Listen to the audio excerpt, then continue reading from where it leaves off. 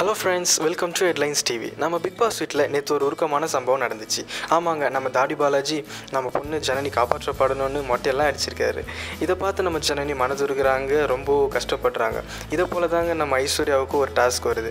அது என்னன்னு பார்த்தீங்கன்னா நம்ம ஐஸ்வர்யா டேரெக்டாக நாமினேட் ஆயிருக்காங்கன்னு பிக் பாஸ் கால் பண்ணி பேசுகிறாங்க ஐஸ்வர்யா நீங்கள் காப்பாற்றப்படணும்னா சென்ட்ராயனோட தலைமுடியை கலரிங் பண்ணணும்னு சொல்கிறாங்க இதை கேட்ட நம்ம ஐஸ்வர்யா அப்படியே உல்ட்டாவாக நம்ம சென்ட்ராயன் கிட்டே சொல்கிறாங்க சென்ட்ராயன் நீங்கள் இந்த வாரம் டேரெக்டாக நாமினேட்டில் வந்திருக்கீங்க. ஸோ நீங்கள் காப்பாற்றப்படணும்னா நீங்கள் உங்களோட தலைமுடியை கலரிங் பண்ணணும்னு பச்சையாக போய் சொல்கிறாங்க நம்ம ஐஸ்வர்யா.